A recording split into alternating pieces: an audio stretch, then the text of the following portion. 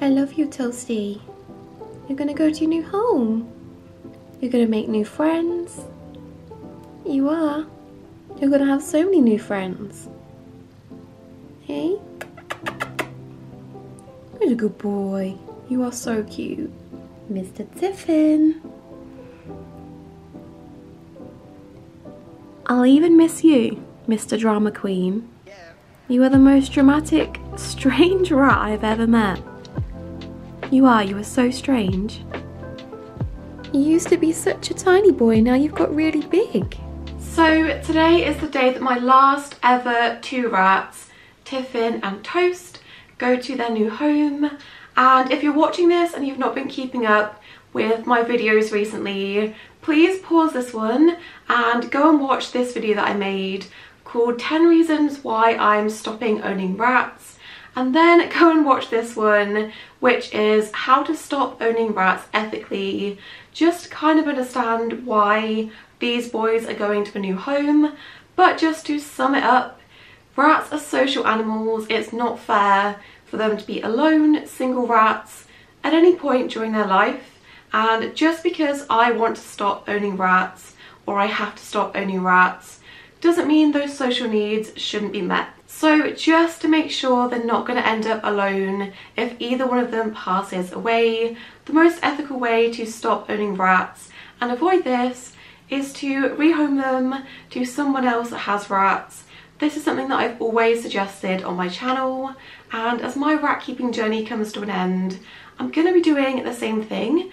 They're going to be going to a really good friend of mine called Ashley. She's got a YouTube channel and Instagram and TikTok called Faithful Rattos that's got a bunch of good information. So if you want to go and follow my boys' journey for the rest of their life, go and follow. But also if you want to get your rat fix in terms of like educational content, then Ashley is now going to be your person for that. So definitely go and check out her stuff.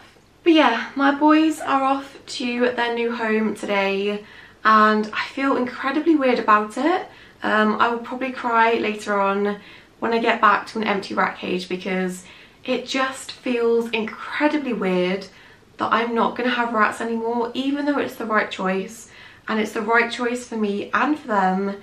It's still a weird one to make because I'm used to losing rats. I got so used to it at this point and saying goodbye to them but not when they're still young and healthy. So yeah, it, it feels incredibly weird. The reason that I wanted to film this specific video is because I have shared my entire rat journey online right from the first rats I got. I started making YouTube videos and it's only fitting to carry that on right until the very end, even though it's uncomfortable and weird that I'm having to do this. I think it's really, really important to show that rehoming is okay if it's in the animal's best interest or your best interest. It's not this big, scary, taboo thing that might stop people from doing it and that might mean their rats end up neglected, alone, their needs not being met. This side of it is also so, so important alongside everything else I've also shared. I'm really procrastinating stopping filming this clip because when I do that, it means I'm about to get in the car and take them and travel to their new home.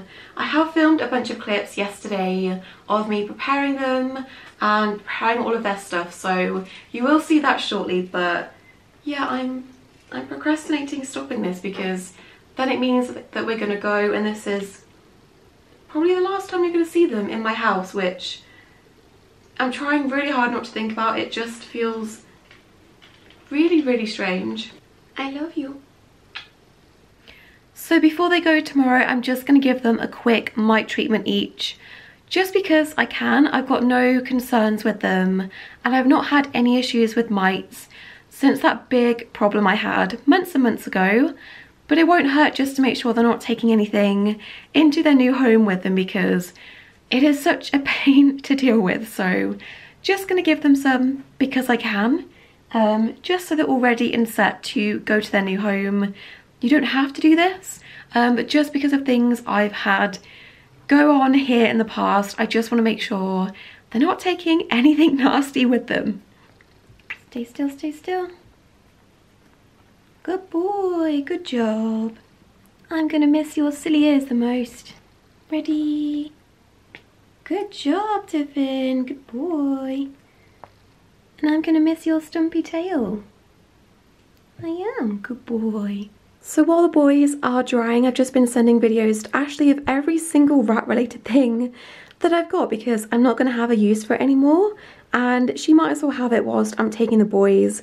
I can try and take as much of their stuff that will fit in my smart car as possible so I've just sent her a bunch of videos just to see what she actually wants because we have pretty similar setups. She also has like naturalistic stuff in hers so she might as well make use of it and have that stuff too. So I've just been going through like everything. I made myself for riding toys.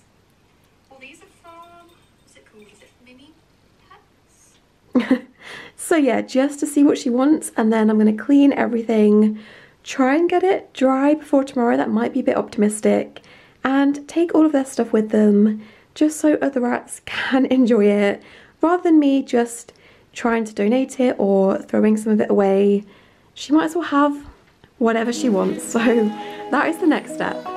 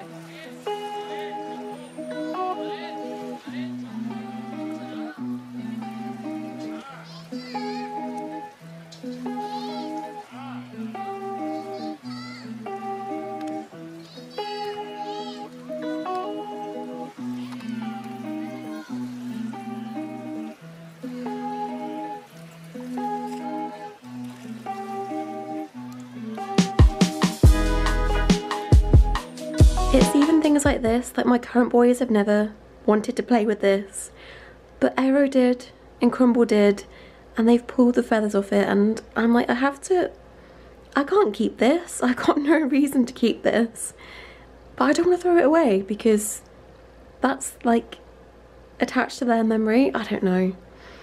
I'm I'm struggling with this. I'm just going down memory lane at this point. This was one of the first chew toys I ever got my rats over eight years ago and I think it was from Pets at Home or something before I knew better about what kind of like textures and things rats actually enjoy chewing because I've still got this. Eight years later they've only had a tiny nibble because it's just not the kind of chew toy that rats really enjoy chewing on so yeah this is one of the first things I ever bought for my rats and I've still got it and I might keep it. Is that weird? I don't know but yeah, that's that's not going with them because they're not going to use it or chew it. So I might end up keeping this.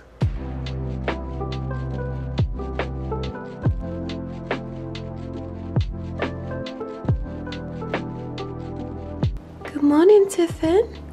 Today's the day you and your brother go to your new home. Gonna take you all the way to your new home and you're gonna have so many new friends. Hey? Hi, baby. Oh, buddy. I've got so many treats left. Good boy. You can have all the treats today. You can. Hi, Toasty boy. Why are you sat like that? Why are you sat like that? Are you just chilling? Are you just chilling out?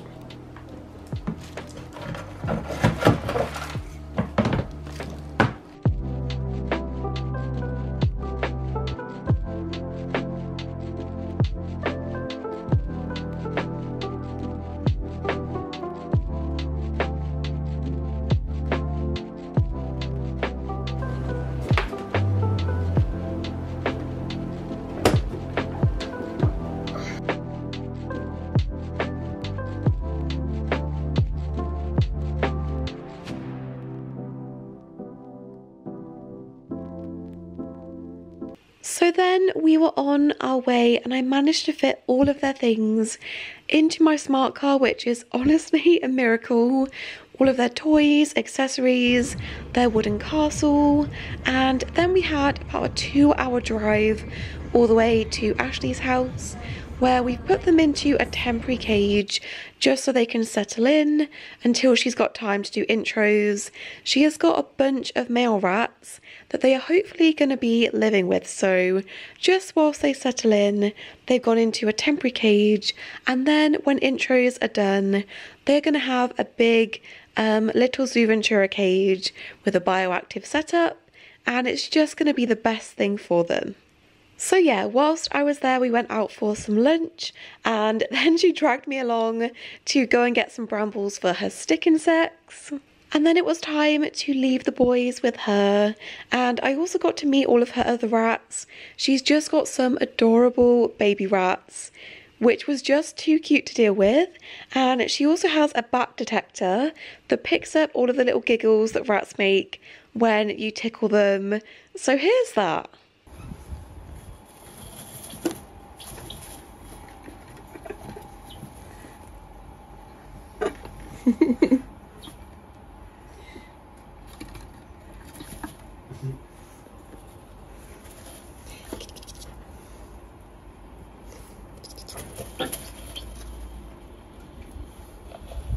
But yeah, I didn't stay there for too long. I had about a two and a half hour drive home, which was just the worst, to be honest.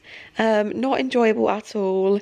The only thing that made it slightly better was this dog that was in front of me for a while that kept sticking its head out the window and looking at me. That did make me smile. So it has been a couple of days now. It was so nice to see Ashley again. And I need to take this cage down, clean it out, take it down ASAP because looking at it empty is just incredibly weird and kind of haunting to be honest so I'm gonna do that in a second but I believe as I'm filming this she is just about to do introductions with the boys and put them with her male rats so if I have any clips, if she sends me any clips of that over the next couple of days I will insert them here. Hello Tiffin. Are you eating your dinner? Are you eating your salad? Hello Toasty.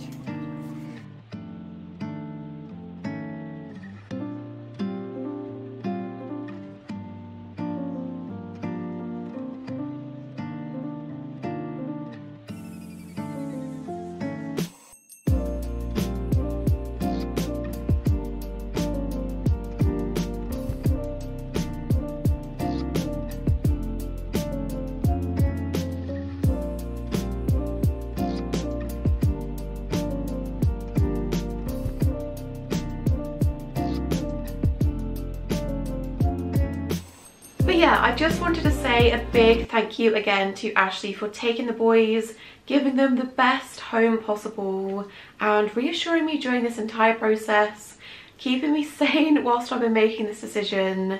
And also a huge thank you to all of you guys, anyone that sent me a message over the past couple of days has just been amazing. I've had some lovely, lovely messages on Instagram and comments on TikTok. Just being so nice about the entire situation. Just thanking me for making all of my rat videos over the years and making a difference in your rat care and your rats' lives. Honestly, that is all I ever set out to do and just make sure rats all over the world were getting the best care they deserve. And I still can't believe the reach that I've got and the amount of people I have on this channel that love rats. It's just an insane, I still can't wrap my head around it. So thank you so so much for supporting me and my videos about rats over the years and all of the rats I've had for loving them just as much as I have. Thank you, thank you, thank you for just making this the incredible experience that it has been. And this makes it sound like I'm going somewhere. I'm not. I'm excited to kind of show you guys what I plan on doing next. And I've had a couple of messages and comments saying that you're excited to see what I do with the channel even though I don't have rats anymore which has been so so reassuring. So yeah I might still make the occasional rat video here and there. Um, I'm really excited. I'm trying to look to the future and I've got some really different plans of what to do in this pet room. I'm going to be reshuffling a couple of things just to make it work for the pets I have now. So yeah moving onwards and upwards I'm really really happy that Tiffin and Toast are going to be thriving in their new home but it's now time for me to make a couple of changes and be happy going forward. But yeah, thank you for watching this video and all of my other rat videos over the years. I will forever be in debt and just grateful for what rats have done for my life. All the way back to when I first started owning them, they gave me such companionship when I was at university and I missed having a pet. All the way, to be honest, to living in this house given me a career and a focus and it's something to do, they contributed in parts to me being able to buy this house and live in this house, which I will forever be grateful for that. But yeah, I could go on and on about all the things rats have done for me over the years.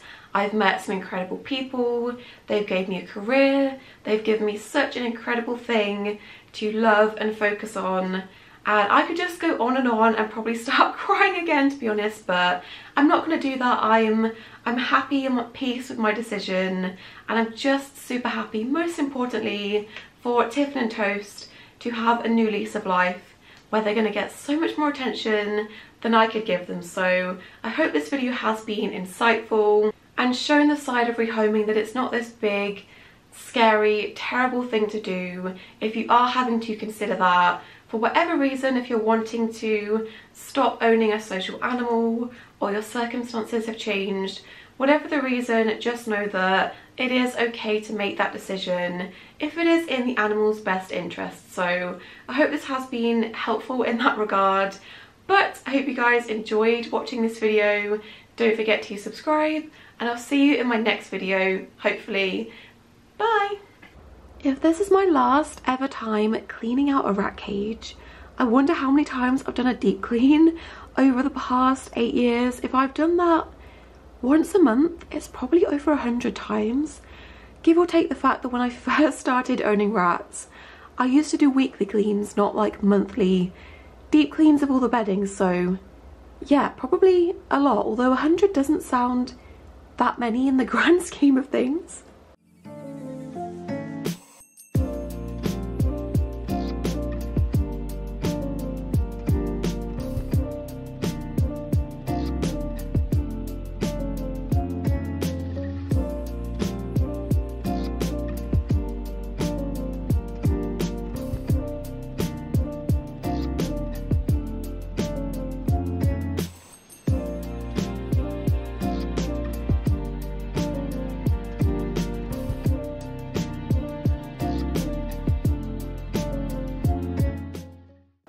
That is one very empty rat cage.